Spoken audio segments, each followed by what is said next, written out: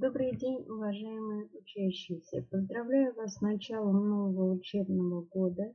Желаю вам здоровья и успехов в изучении предмета химии. Изучение химии 9 класса мы начнем с вами с раздела электролитической диссоциации и тема урока электролиты и неэлектролиты. Откройте тетради, запишите число и тему урока. Сегодня на уроке мы должны с вами познакомиться с такими понятиями, как электролиты и неэлектролиты, и уметь объяснять зависимость электрической проводимости растворов или расплавов от вида химической связи. Откройте учебник на странице 5, посмотрите на рисунок номер 1. Из курса химии 8 класса вы знаете, что существуют такие вещества, как металлы, которые могут проводить электрический ток за счет свободных электронов, находящихся в узлах кристаллической решетки. Но кроме металлов, в химии существуют также и другие вещества, например, кислоты, соли и щелочи, которые также, как и металлы, могут проводить электрический ток. Однако, в отличие от металлов, электропроводность этих веществ объясняется наличием положительно и отрицательно заряженных частиц, которые также находятся в узлах кристаллических решеток этих веществ. Но на практике электропроводность того или иного вещества можно проверить с помощью прибора, который сейчас изображен перед вами. Давайте рассмотрим устройство этого прибора. Итак, он состоит из двух электродов, которые опускаются в стакан с исследуемым раствором. Каждый из электродов имеет определенный заряд. Один положительный, другой отрицательный. От одного из электродов электрический провод подсоединенный клеммой, соединяется с лампочкой, которая служит индикатором электропроводности или отсутствия. От второго электрода также отходит электрический провод. Провода подсоединяются к источнику тока. Если раствор или расплав вещества проводит электрический ток, лампочка загорается.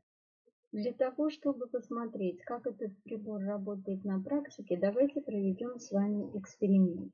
Для изучения электропроводности мы возьмем с вами раствор соляной кислоты и раствор сахара. При пропускании электродов в раствор мы видим, что в растворе образуются частицы, которые обеспечивают электропроводность раствора и результатом этого является свечение лампочки. Если мы посмотрим электропроводность раствора сахара, то мы видим, что здесь не наблюдается образование ионов, и поэтому раствор сахара не будет проводить электрический ток. Следующая группа веществ это будет раствор хлорида натрия и твердого порошка хлорида натрия, то есть обычной поваренной соли. Если мы будем исследовать раствор, то мы видим, что лампочка загорается, потому что а, раствор поваренной соли будет проводить электрический ток. Если взять твердый порошок и опустить в него электроды, то мы видим, что лампочка не загорается, потому что не образуются ионы, и, следовательно, поваренная соль твердая не проводит электрический ток.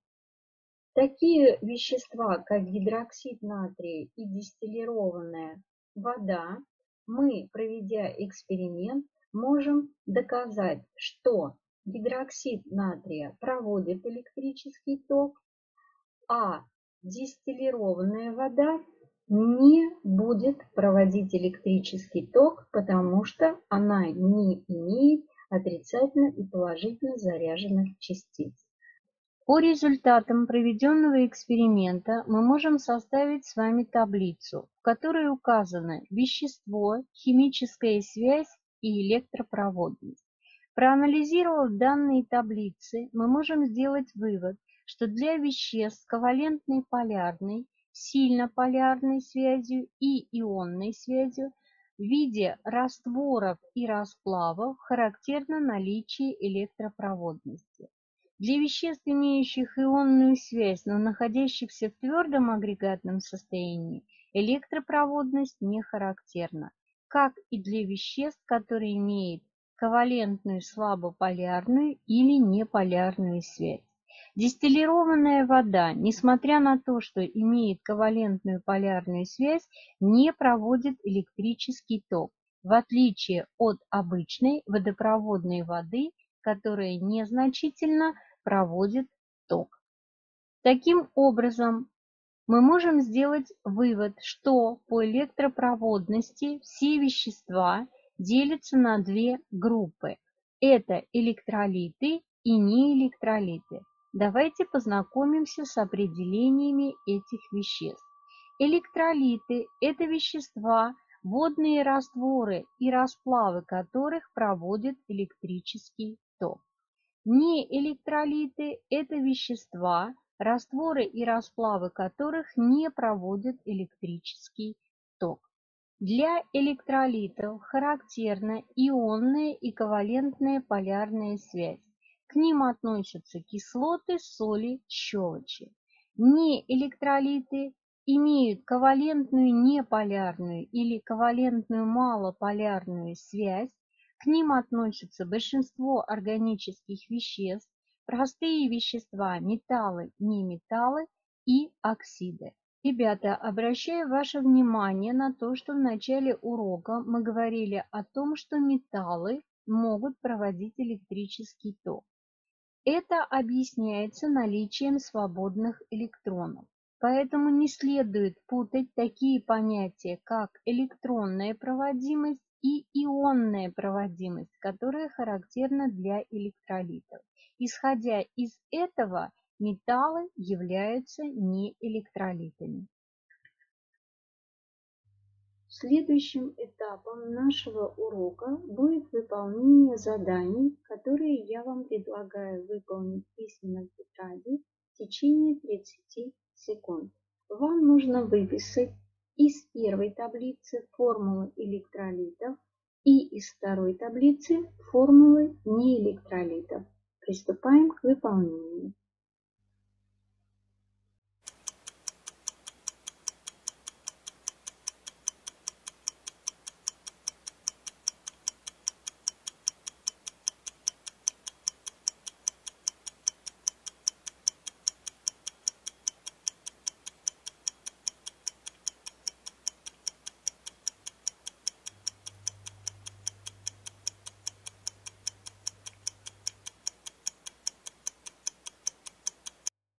Проверяем.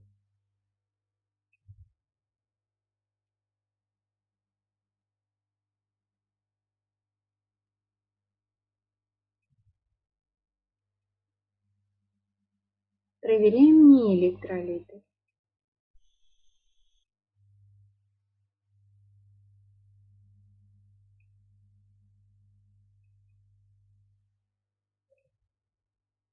Я думаю, большинство из вас ответили верно. Следующее задание – выполнить письменно, записать выигрышный путь для первой таблицы электролитов, для второй таблицы выигрышный путь не электролитов. Время выполнения 30 секунд.